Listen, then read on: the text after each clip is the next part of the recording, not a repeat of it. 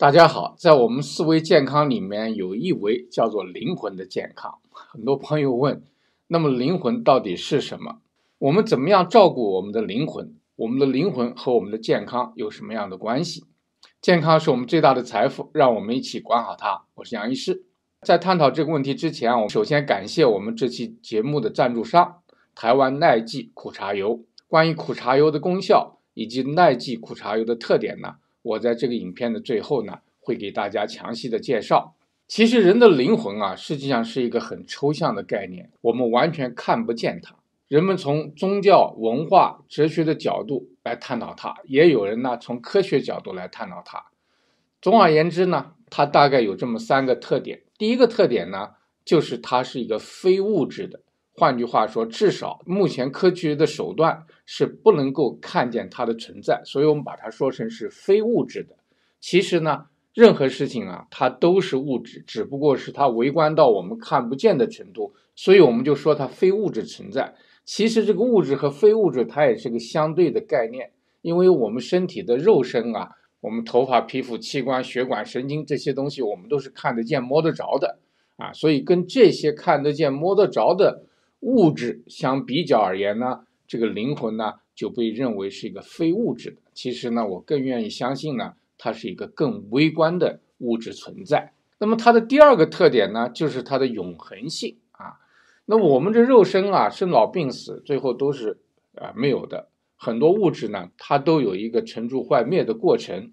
但是这个灵魂呢，被认为是永恒的，它不会因为我们肉身的死亡而消失。很多信仰系统呢都认为灵魂在肉身里存在，肉身消亡了之后，灵魂呢还会继续存在下去啊。至于灵魂的去处是什么，那就跟我们啊今生今世所作所为啊所思所想就有关系了。它会反映在我们的价值观念啊、思想、情感和行为里面。如果灵魂存在的话，我们怎么样来体验到它呢？通常啊有三个途径能够让我们感受到我们的灵魂存在。啊，一个呢，当我们保持正念和冥想的时候呢，会感觉到我们灵魂的存在。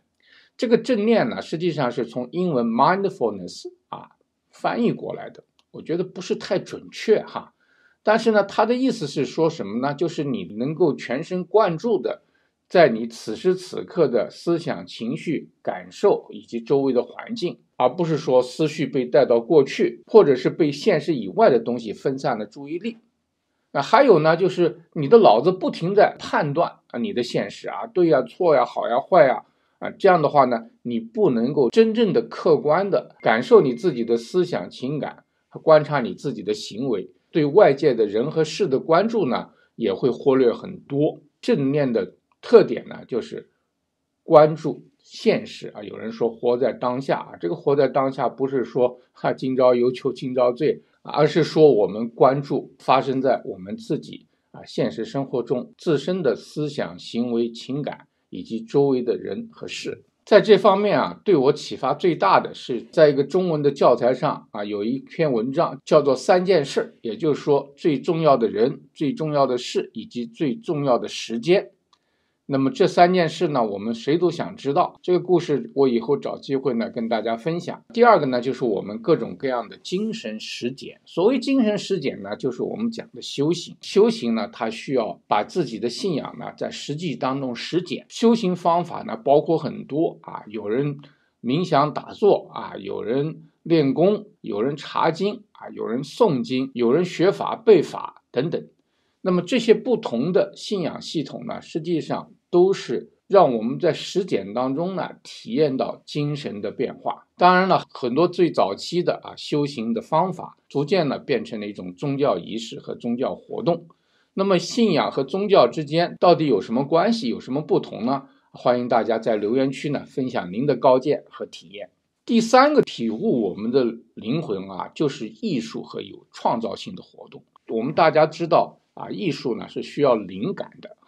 那么你在创造的时候呢，内在的灵魂深处的东西呢，它会表现出来。所以艺术啊和创造性的活动呢，也会让我们体验到啊灵魂的存在。从科学上讲，我们的思想、行为、情感、意识呢，都是跟我们大脑的功能有关啊其实呢是跟我们全身的功能有关，因为大脑它不是一个独立的隔离的状态，它是和我们全身的五脏六腑是连在一起的。换句话说呢，也是我们全身的功能。从科学上来讲呢，我们现在最多的是从啊研究大脑的各种各样的活动，因为关系到我们意识、情感和思维。我们看到的只是大脑的各种各样的活动，而这种活动的来源，它和灵魂的关系呢，我们现在还知道的非常少。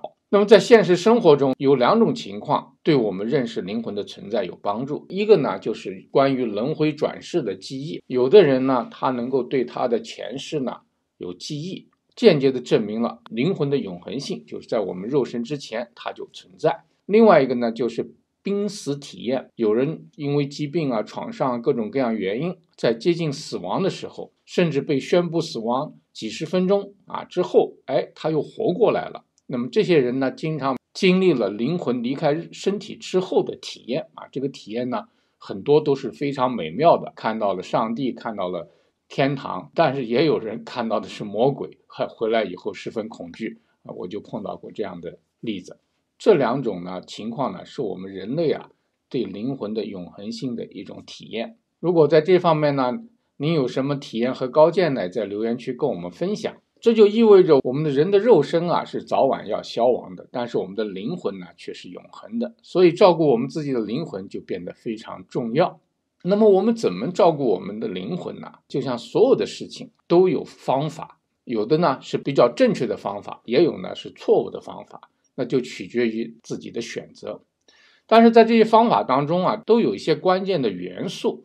啊，我们需要注意第一个元素啊，就是要有自我反思和内省的能力啊，因为灵魂的升华就是自我的升华，跟别人没有什么关系。因此呢，你如果不能够把注意力集中在自己身上，不能够反思内省、向内找的话，你就没有办法去修行啊，滋养你的灵魂啊，提高你的境界。第二个呢，就是要比较真实的生活。所谓真实的生活，就是你在任何情况下都保持你对自己的信仰的一致性啊，不是说啊，因为有恐惧了，所以你改变信仰；或有诱惑了，又改变你的信仰。符合你的需要，符合你的想法，符合你的愿望，哎，你就相信；如果相反的话，你就不相信啊。这些呢，都不是一种真的表现。那么还有一种呢，就是用我们的健康的人际关系来衡量啊，因为人和人之间的关系本质上是灵魂和灵魂之间的关系，因此呢，你如果有健康的人际关系的话，那说明你的灵魂是比较健康的。如果你的人际关系搞得一塌糊涂，人与人之间有欺诈、有怨恨，那么这些呢，就说明我们还是要审视自己的信仰系统，改善人与人之间的关系。